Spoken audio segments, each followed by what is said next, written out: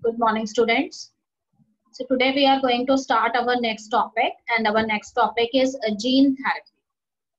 As the name itself indicates students, gene therapy means maintenance of some damaged genes or some genes which have certain deformities or in genetic engineering terms we can say it is a kind of a technique by which we can make uh, corrections in the defective genes. Or you can say some of the genes which becomes defective due to mutations. We have to replace here the mutated genes and replace that mutated genes with one corrective gene. So this entire technique it is known as gene therapy. So here we are going to study in detail about gene therapy so student, here I have written the definition of uh, this uh, technique, gene therapy. It is an experimental technique for correcting defective genes and that are responsible for different type of diseases. As you know that one gene is responsible for the formation of one protein in your body and it later controls one character. If the gene is if defective, in that case, a defective protein is formed and as a result, a disease, a condition will create in your body. So gene therapy is a process by which you can make corrections in these uh, defective genes.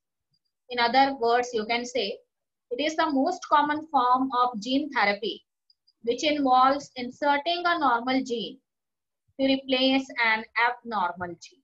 Abnormal gene means the gene which is defective, it may be mutated gene. Sometimes a deficiency is created when a gene, a particular gene, it gets uh, deleted during the movement of the chromosomes.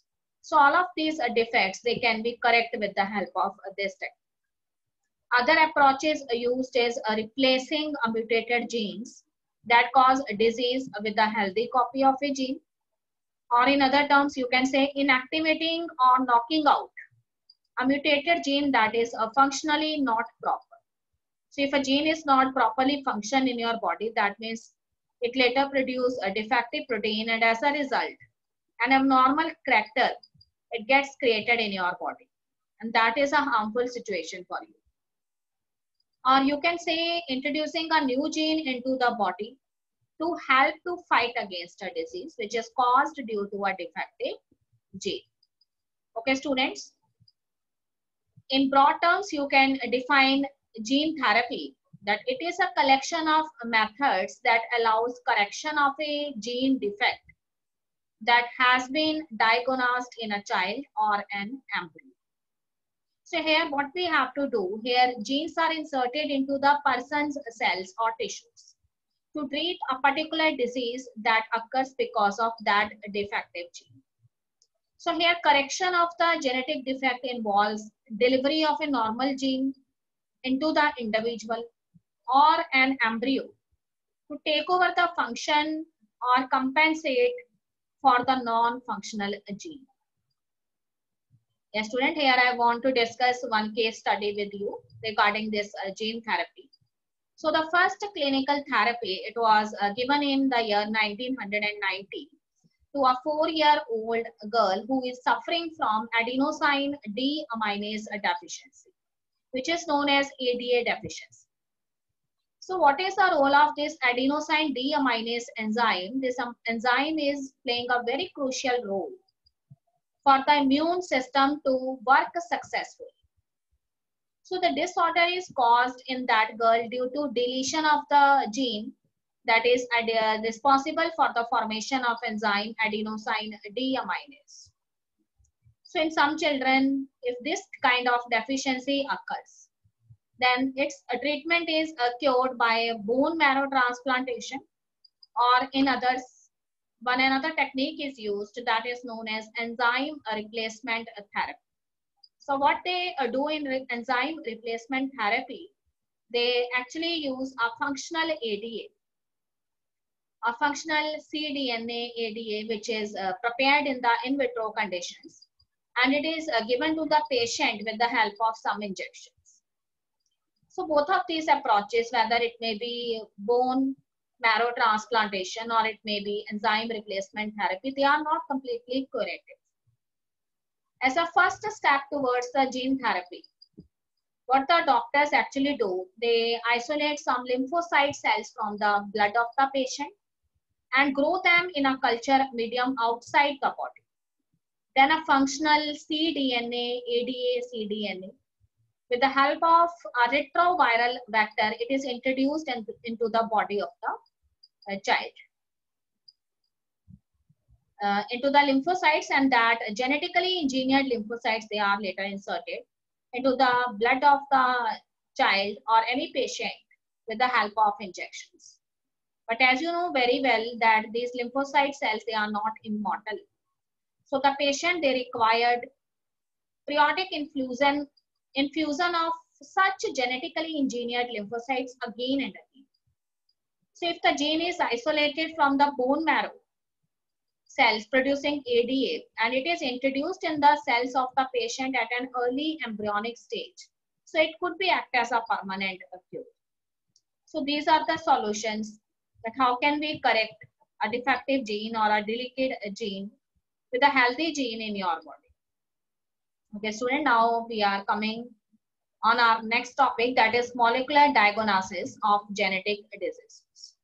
So here we are going to discuss about various types of uh, techniques that are given to us by the process of genetic engineering. So first of all, I want to tell you what is actually molecular diagnosis. The process of identifying diseases by studying molecules it may be proteins, DNA, or RNA in a tissue or some fluid. It is known as molecular diagnosis. So molecular diagnosis or therapy, it brings advances in detection, monitoring, and treatment of molecular causes of the disease. They can also be used as biomarkers to guide drug development and target medicines towards this specific population. Okay, student, for effective treatment of a disease, as you know very well, early diagnosis and the understanding of the pathology is very much important. So doctors, they used uh, the conventional methods for the diagnosis. They generally do the serum test or urine analysis for early detection. But sometimes the symptoms, they cannot be identified by the pathogen and we get no help through these uh, conventional methods such as serum and urine analysis. So here the technique of rDNA technology, that is recombinant DNA technology, polymerase a chain reaction, and one very advanced technique, enzyme-linked immunosorbent assay, ELISA. These are some highly advanced techniques that are given to us by genetic engineering and that serve the purpose of early diagnosis of a disease. In that case, where the pathogen they uh, did not uh, show any kind of symptoms and it is too late for the appearance of symptoms that in that period the pathogen is hmm. successfully uh, grow in the body of the patient and the doctors they are not able to identify because the symptoms are hidden in that cases, we can make use of these techniques, ELISA technique, PCR technique, and rDNA technique. Okay, student, first of all, I am going to tell you a little more about the polymerase chain reaction or PCR techniques. So presence of a pathogen, pathogen may be of any kind, it may be bacteria, virus, etc. is suspected only when the pathogen has produced a disease but by this time, the concentration of that pathogen is very high already in the body of the patient. So however, very low concentration of a bacteria or a virus at a time. When the symptoms of the disease, they are not visible. It can be easily detected with the help of a technique and that is polymerase a chain reaction, which actually do the amplification of the nucleic acids. So his PCR technique is highly effective technique. It is uh, used for finding out HIV genome in the suspected AIDS patients. It is also playing a significant role in detection of mutations in genes in suspected cancer patients too. It is a powerful technique to identify different kinds of genetic disorders. So nowadays, whether the symptoms it may be appear or not, we need not to have wait for the symptoms to appear. We can make use of this kind of PCR technique by which we can we can easily amplify the genetic material of the pathogen and in absence of the symptoms, we are able to find out that which pathogen caused the disease and what is it is its concentration in the body. So here the diagram is uh, very much familiar to you. You have studied how this uh, technique PCR polymerase chain reaction it actually works. So here we isolate the genome of the pathogen and later amplify them we done all of these steps in in vitro conditions. So first step here is the uh, denaturation of the genome. So here we provide a certain amount of heat and the, both the strands of DNA, it gets separated from each other. Then we add some ready-made uh, primers and enzyme primase and DNA polymerase. So here the extension of these primer strands uh, takes place and the dotted DNAs, they are And later on, after the extension. Here you can see as a daughter DNAs uh, they uh, formed and later on if we repeat this uh, PCR cycle so many times we obtain 1 billion copies of the genetic material of the pathogen. So it is a technique that generally uh, gives us result in few seconds. So this is the machine which is the PCR machine generally it is found in uh, some big hospitals for and it is used for early diagnosis of a particular disease. Yes, student. Here I have written some more points about molecular diagnosis that here we can make use of DNA, RNA and proteins to test for specific state of health or a disease under molecular diagnosis. Or you can say laboratory test used to identify a disease or predisposition to a disease by analyzing DNA, that is deoxyribonucleic acid, or RNA, that is ribonucleic acid, or their proteins in humans. Or in case of infections or in microbes, it is known as molecular diagnosis. A student here, I am going to tell you about the second technique that comes under molecular diagnosis, and that is autoradiography. So here a single stranded DNA or RNA and it is tagged with the radioactive molecule. So this DNA or RNA which is tagged with the radioactive molecule, it is actually uh, known as the probe DNA. And this probe DNA it is allowed to hybridize with the complementary uh, DNA in a clone of cells and followed by detection using the autoradiograph. The clone having the mutated gene will hence not appear on the photographic film because the probe will not have complementary, uh, complementary base for that mutated gene. So in this way, by studying the image on the photographic plate, we can easily identify that so and so gene, it is the defective gene because its picture is not there on the photographic plate. So in this way, we can later remove that defective gene with the technique of gene therapy. A student, autoradiography is a bioanalytical technique which is used to visualize the distribution of radio-labeled substance with a radio isotope in a biological sample. So it is a method by which a radioactive material can be localized within a particular tissue, cell, cell organelle, or even biomolecules. It is a very sensitive technique and is being used in a variety of biological experiments and autoradiography, although used to locate the radioactive substances, it can also be used for quantitative estimation by using densitometer. Yes, the third very important technique is the ELISA technique. The full form of ELISA technique is enzyme-linked immunosorbent assay. So this technique is based on the principle of antigen-antibody interaction. So infection by a pathogen can be detected by the presence of antigens that are kind of proteins or glycoproteins and by detecting the type of antibodies that are synthesized against that pathogen. If there is a very high concentration of antigen an antibody specific to those antigen, that means the person is suffering from a very, you can say, big or a harmful disease. So this is the practice of the ELISA technique. It is commonly used uh, laboratory technique, which is used to measure the concentration of an analyte, usually antibodies or antigens in a solution. Yes, student, here I have uh, written the definition. The enzyme-linked immunosorbent assay, that is ELISA, is a biochemical technique and that uses antibodies and color change to identify a substance. So ELISA is one of the most sensitive and reproducible technologies available. And these assays are rapid, simple to perform, and easily automated. And what is the principle? ELISA combine the specificity of antibodies with the sensitivity of simple enzyme assays using antibodies or antigens coupled to an easily assayed enzymes. ELISA can provide a useful measurement of antigen or antibody concentration. Procedure we need not to study, but here I have written the steps, so please go through these steps, but they are not the part of syllabus. Okay, student, I am starting with the next very important topic, that is a transgenic animals.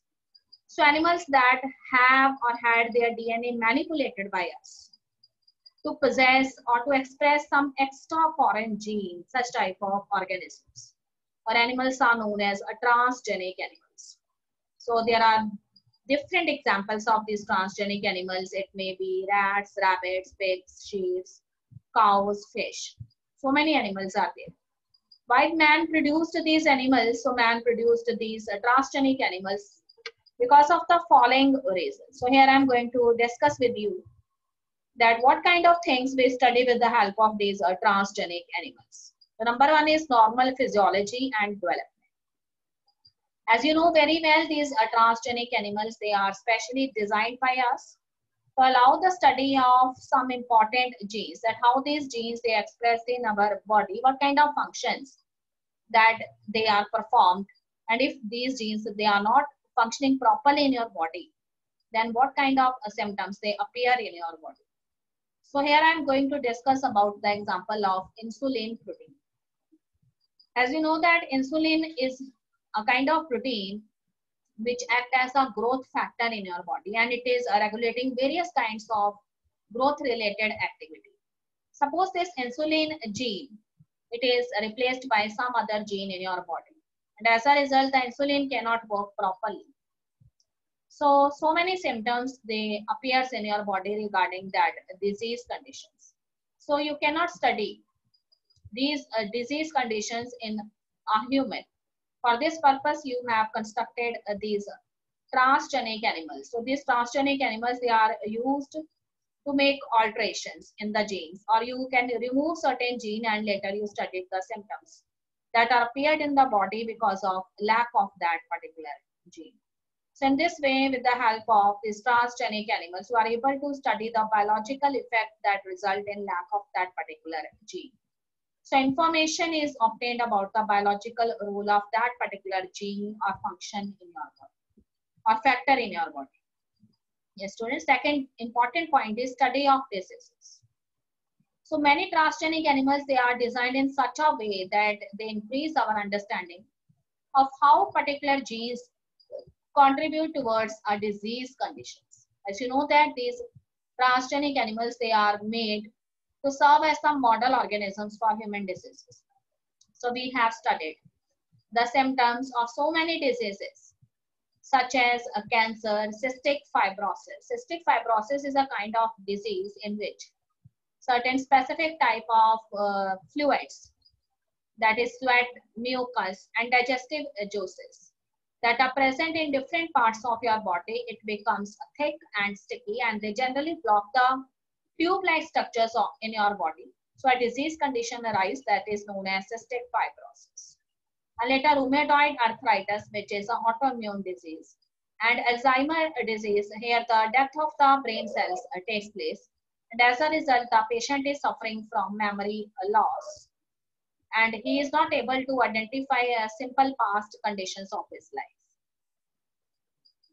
third important thing is biological products. So generally we use different type of medicine to treat certain human diseases. And when we see the ingredient of these medicines, so they contain certain specific type of biological products. And often these biological products are the expensive ones. So with the help of these transgenic animals, we can synthesize these biological products by using the clones in these transgenic animals by the technique of uh, gene cloning and later we isolate or extract our desired uh, product. So here the portions of the genes or the DNA that is responsible for that desired product, it is isolated from some source organism and later inserted inside the transgenic animal for the purpose of its uh, gene cloning. So in this way, we have obtained so many important uh, biological products such as alpha-1 antitrypsin, which is generally used to, treat emphysema, phenylketonuria, and cystic fibrosis. And one very important uh, thing is done in the year 1997. The first transgenic cow, which is known as the Rosie cow. And this Rosie cow, it contains a gene that can easily produce human protein enriched milk that is 2.4 grams protein per liter. The milk contains the human alpha-lactalbumin and was nutritionally a more balanced product for human babies than the natural cow's milk. So this can be done with the help of transgenic animals. And fourth thing is we can study the safety of a particular vaccine that we later have to launch in the market with the help of these uh, transgenic animals. So here transgenic mice, they are generally uh, used for this purpose for uh, testing the safety of the vaccines before they are used on humans. So these transgenic mice, they are being used to test the safety of the polio vaccine earlier. And if the particular vaccine, it get becomes successful and found to be reliable, that could later be tested with the help of more doses of that particular medicine in some other transgenic animals such as monkeys. So here as the animal monkey is a big animal as compared to mice. So here we can uh, do the vaccine safety test by increasing its dose in the form of uh, batches and when we found that that particular vaccine is safe then later it is launched in the market. And the fifth very important point regarding transgenic animal is it can also be used for chemical safety testing and that is very much similar uh, to the procedure of the vaccine uh, testing. And here the toxicity of a particular drug or a chemical, whether it may be agrochemical or some other important pharmaceutical uh, drug, it can be easily uh, checked with the help of these uh, transgenic animals. So these transgenic animals, they have specific type of uh, genes which make them more sensitive to these toxic substances than non-transgenic animals. So they are then exposed to toxic substances and the effect can be easily studied by us. So toxicity testing in such animals will allow us to obtain a result in less time. So all of these things we generally done with the help of these transgenic animals. So these transgenic animals, they are playing significant role in the research of genetic engineering. Okay, student, as you know that the technique of genetic engineering, it is a very beneficial technique for human welfare. And it is generally given to us by biotechnology, which is a newly arised discipline of biology. But there are some ethical issues that are associated with this technique there are certain thoughts in the mind of some people that the manipulation of living organisms by human race it cannot go without regulation. As every process should be a regulated one so the research on genetic engineering should, should be under a regulation. So some ethical standards they are uh, required to evaluate the morality of all human activities that might harm living organisms. So according to some people, going beyond the moral, morality of such issues, the biological significance is also important about these organisms. So genetic modification of organisms can have unpredictable result when such organisms they are introduced in the ecosystem and they later done breeding with some other animals then contamination in the species takes place so because of all of these thinkings the government of india set up an organization which is known as a genetic engineering approval committee and this organization it is generally take decisions regarding the validity of the gm research and the safety of introducing genetically modified organisms for public services. So the modification of the living organisms for public services also created some problems regarding the patent granted for the same. For example, if with the help of this uh, technique of genetic engineering, some new species of plants or animals or some other thing, it is uh, created by some companies or some individuals. Then these individuals they later get the patent right of those particular species which is actually prepared with the help of some knowledge that is related with the indigenous uh, species or the wild species that are found in the wild habitats or some particular countries. So regarding the genetic engineering research, there is a growing public anger that certain companies they are being uh, granted patents for products and technologies that make use of genetic materials plants and other biological resources that have long been identified developed and used by the farmers and indigenous peoples of specific region or country so they are actually related with those indigenous peoples and farmers because they are cultivating that particular species from the long period. But now these uh, pharmaceutical companies or some multinational companies, with the help of these uh, indigenous peoples, they gather knowledge from these indigenous peoples and by the technique of genetic engineering, they are making new product and later they claim that they have the full authority over this product and there is no role of the indigenous people in generating that new species. So that is a totally wrong because they are not providing any compensatory payments to those indigenous peoples and farmers. So as a result, some of the nations, they becomes richer